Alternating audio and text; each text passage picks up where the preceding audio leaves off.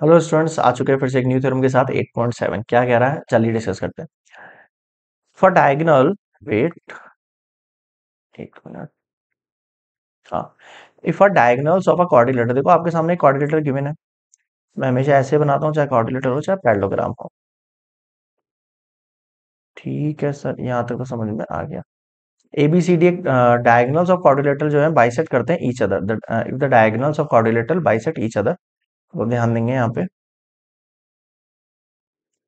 ये बाइसेट कर रहे हैं एक दूसरे को, ये खुद कह रहा है इस बार, यानी कि ये साइड इसके इक्वल है और ये साइड इसके इक्वल है। तो देखो गिवन कंडीशन क्या हो गई आपकी? गिवन कंडीशन हो गई। In quadrilateral A B C D मैं इसको ओ नाम दे देता हूँ। मैं क्या कहूँगा डीओ इक्वल्स टू बीओ है और एओ इक्वल्स टू सीओ है। ये एक तरीके से गिवन कंडीशन हुई है आपके सामने। ठीक है सर। प्रूफ क्या करना है कि ये पैरेललोग्राम है ये प्रूफ करना है?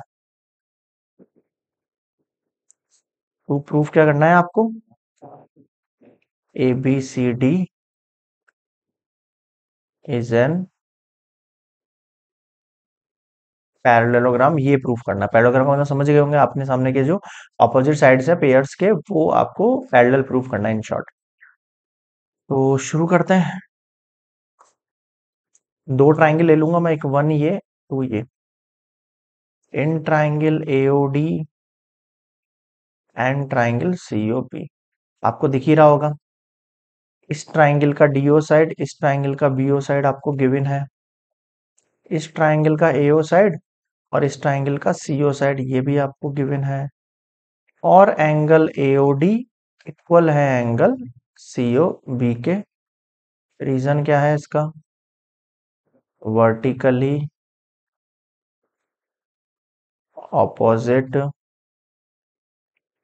angles. अब आप ध्यान देना, ये एंगल इसके इक्वल हो गया। अब आप देखो side angle side side angle side लग गया एकदम इजीली लेकिन नेमिंग थोड़ी सी इंपॉर्टेंट है, ध्यान देना। नेमिंग में मैंने आगे एओ लिखा है तो एओ का पेयर कौन है? सीओ है। तो फिर मैं सीओ बी लिखूँगा, इसको बी आगे मत लिख देना सीओ बी लिखना है। उसके बाद देखो ओडी है ओडी इक्वल ओबी के थी ना तो सही लिखा है अपन ने।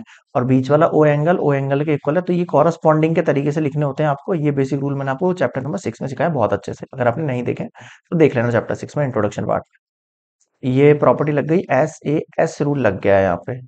साइड एंगल साइड यहाँ तक समझ में आ गया हाँ सर आ गया। अब इससे क्या समझ में आया? इससे ही समझ में आया।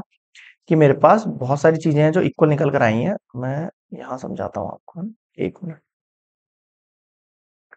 देखो, अगर ये दोनों हो गए हैं तो आपके पास एक चीज़ तो ये समझ में आ गई आपको कि ये वाला एंगल इस एंगल के इक्वल हुआ। देखो, इसका डी और इसका बी तो मैं लिखूँगा angle A D O equal angle A D O लिखा ना सी बी ओ सीपीसीटी और ये वाला एंगल भी आपके इस एंगल के इक्वल होगा। लेकिन मेरा एक हो गया है तो मुझे दूसरा निकालने की ज़रूरत ही नहीं है। हाँ सर, ये भी ठीक है। अगर ये वाला एंगल इस एंगल के इक्वल है तो आपको जेड बनते हुए दिख रहा है क्या? देखो, बनते हुए दिख गया। तो आप कह सकते हो A D parallel to B C reason क्या है इसका? Converse of alternate angle axiom यही सिखाया था? हाँ सर, यही सिखाया था। अब जब आपने ये दोनों ट्राइंगल लिए हैं तो आपने ये दोनों साइड पैरेलल प्रूफ कर दिया। और अगर अब मैं ये दोनों ट्राइंगल लेता हूँ, अगर मैं ये दोनों ट्राइंगल लेता हूँ, कौन सा ये और ये ट्राइंगल तो ये दोनों भी मेरे पास जो है पैरेलल निकल जाएँगे। हाँ सर तो मैं सिमिलरली लगा के लिख रहा हूँ। आप कुछ इसको प्रूफ कर लेना। Similarly in triangle in triangle DOC and triangle B O A इन दोनों ट्राइंगल को जब कॉन्ग्रेंट प्रूफ करोगे ना, यही प्रॉपर्टी लग जाएगी, दोनों में ऐसे ऐसी लगेगी देखो, इसमें भी ये पेयर निकलेंगे एस एस एस एस ये वर्टिकली अपोजिट तो आप यहाँ पर भी कह सकते हो A B parallel to C D मैंने एक ही केस निकाल के सिमिलरली डाल दिया दूसरे के लिए। तो मैं कह सकता हूँ यहाँ पे hence A B C D is an parallelogram बताओ क्या समझ में नहीं आया। ये थ्योरम 8.7 कंप्लीट हो गया मेरे अकॉर्डिंग बहुत अच्छे से इलेबोरेट किया है मैंने, बहुत अच्छे से। अगर आपको फिर भी कोई दिक्कत लगे तो कमेंट्स में बताना। अगर कुछ कमी है तो उसको सुधारेंगे। ठीक है? ऐसा तो है नहीं कि मैं परफेक्ट हूँ। हो सकता है कोई डाउट है ऐसा आपका कि जो मतलब जो पॉइंट है जो मैंने अच्छे से नहीं समझाया या आपको अच्छे से समझ में नहीं आ रहा, उसमें कोई दिक्कत है तो और अच्छे से समझने की कोशिश करेंगे उसको यहीं पर इसी क्लासेस के अंदर। आई होप क्लियर हुआ है। मिलते हैं नेक्स्ट वीडियो में, तब तक के लिए गुड बाय